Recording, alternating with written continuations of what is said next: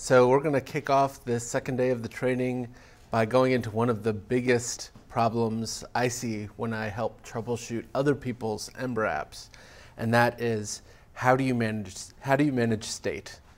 So uh, this is the the biggest challenge that you start to run into as you move from the older style, uh, you know, server-side rendered apps not, not server-side rendered in the sense of fast boot, but maybe a PHP app with, with some JavaScript uh, script sprinkled on.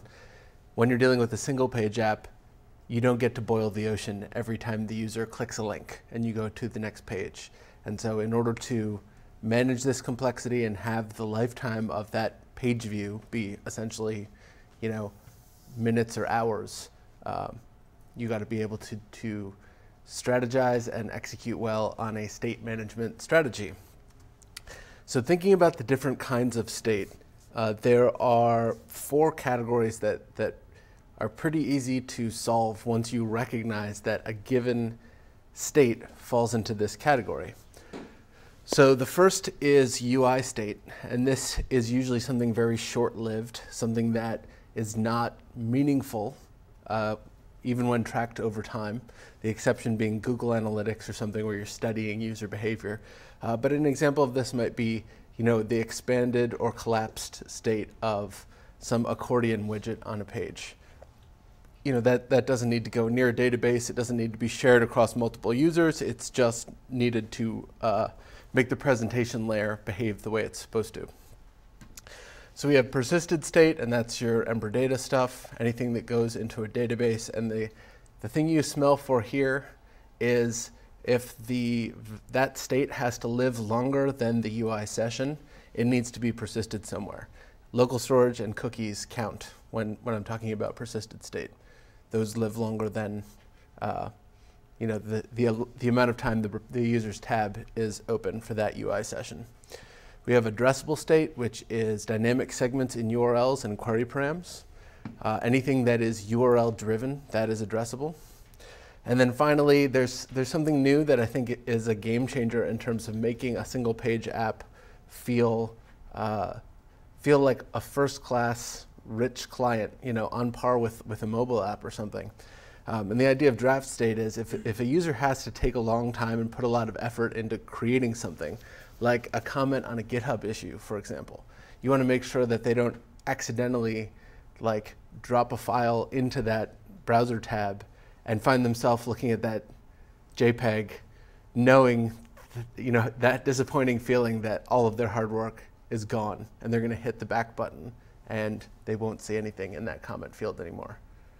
For the record, GitHub handles this gracefully, but, but it's a great example of where you really want to have that there. If you spend 40 minutes writing something, you shouldn't be one drop event away from erasing all of that hard work. So, uh, and it, as we go through a couple different kinds of state and we, we execute well on a state management strategy for our app, I want us to have uh, sort of a, a North Star that we're shooting for, right? Uh, some core principles that, regardless of the approach we take, we're going to try to adhere to them.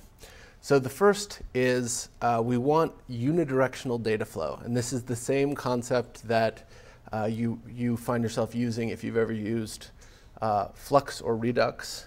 It's, it's the idea of data being sort of pulled out of a store to be rendered on the screen.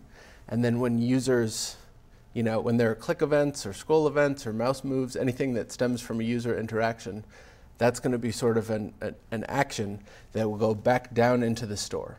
So the, the, core, uh, the core principle is we want to preserve the context of whatever generated that event as long as we can and kind of let that flow all the way through to, you know, sort of the bottom layer of, layer of our app. You want to, to know that you're responding to a click and not just some change in a Boolean value, right? You don't want data data changes driving other data changes. That's how you end up with uh, one of the biggest performance killers in any single page app where you have this sloshing of re-rendering going around, where your rendering logic might cause other things to change, which will trigger other re-renderings, which will trigger other re-render re-renders. And sometimes it's like three or four DOM update waves before everything kind of settles.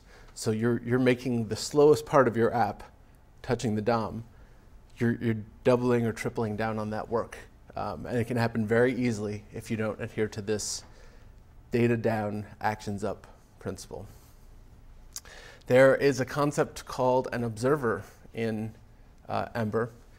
It is overused uh, in that it's, it's meant to be a framework internal concept.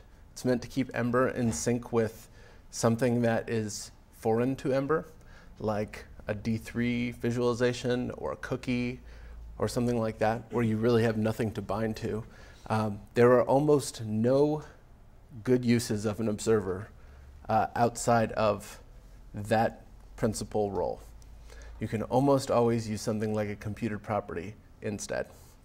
And observers, because they are not coalesced together by this prioritized work queue that is it's called the Ember run loop that makes sure we're efficiently batching changes to things that are expensive to touch because observers do not fall into you know things covered by the run loop they happen immediately um, this is a, another big performance killer and another state management snag that you can run into so in terms of how we're going to take the app that we were working on yesterday and upgrade it, do you know, touch on some state management best practices.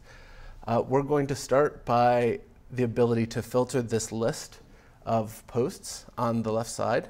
And you know, we want to see that whatever we type in this box here, that's represented in the URL by, by a query param.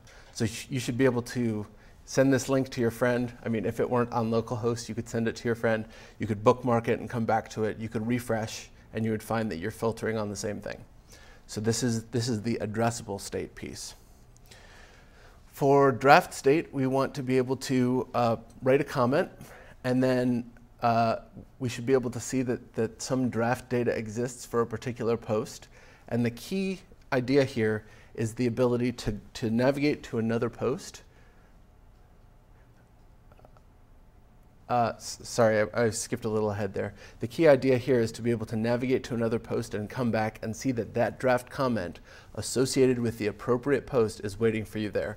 So it's not something that just is hanging around in that text area as you navigate around between blog posts. It is some temporary state that you're attaching to a persisted record so that if you walk away and come back, maybe you need to go and check, check another article because you're saying, you know, I like the way this other article addressed the same point you're talking about here. So you need to go like tab away and tab back, and you want everything you were working on to be there, to be preserved for you. Uh, persisted state, which we just went through the animation there for, very simple. I want to save a comment. I want to persist it to the API. And then finally, we have a concept of UI state, and this is just this view layer only stuff. Uh, I just want to take this little metadata area that's at the top of the post full component, and I want that to be expandable and collapsible. But I want to make sure that uh, that state is also like associated with a particular post, and that as we navigate around, the app sort of remembers that post number two, we opened up this little metadata area, um, but if we go to post number one, it still remains closed. So this is, this is the next set of exercises. And uh, we're going to do this, you know, piece by piece and kind of examine, you know, what, what are the benefits of a particular approach to state management.